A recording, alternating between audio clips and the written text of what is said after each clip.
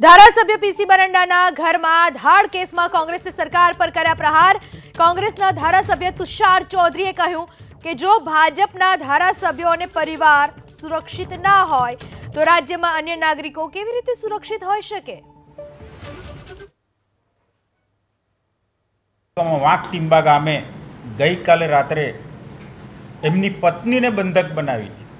એમની પત્નીને બંધક બનાવીને લાખોની રોકડ રકમ અને કેટલાય તોલા સોના ચાંદીના દાગીના ખુલ્લેઆમ કોઈનો પણ ડર રાખ્યા વગર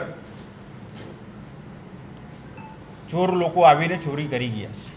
જ્યારે ગુજરાતમાં ભારતીય જનતા પાર્ટીના ચૂંટાયેલા ધારાસભ્ય જ સલામત ના હોય, તો સામાન્ય આદિવાસી કે સામાન્ય પ્રજાજનની સલામતીનું શું એ મોટો પ્રશ્ન આજે ઉદ્ભવ્યો છે.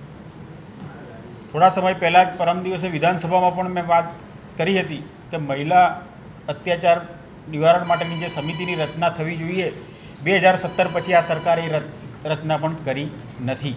મોટી મોટી વાતો કરતી સરકારના રાજમાં આજે કાયદોની વ્યવસ્થા સદંતર થાળે ગયેલા છે અને પ્રજાની સલામતી પર પણ મોટો પ્રશ્ન ઊભો થયો છે. એ વાત અમે આપના સમક્ષ કરીએ છીએ. અમે પણ વિધાનસભામાં વારંવાર રજૂઆતો કરી છે, પણ જે પ્રકારની ઘટના એના કારણે એવું લાગે છે કે પોલીસ તંત્ર પર આ સરકારનું કોઈ અંકુશ નથી અને આજે પોલીસ માત્ર બીજા બધા કામોમાં જ વ્યસ્ત હોય, પણ કાયદોની વ્યવસ્થાની પરિસ્થિતિ જાળવવામાં નિષ્ફળ ગઈ હોય, એવો અમે આજે આક્ષેપ કરીએ છીએ.